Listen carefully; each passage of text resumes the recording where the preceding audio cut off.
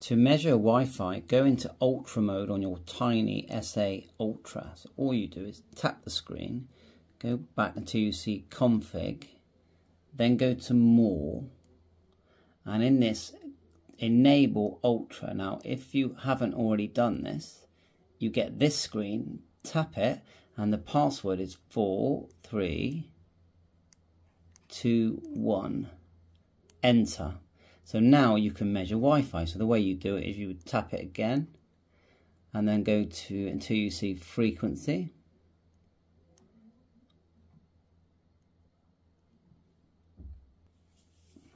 Tap the frequency and then at the start you'd put in say 2 gigahertz.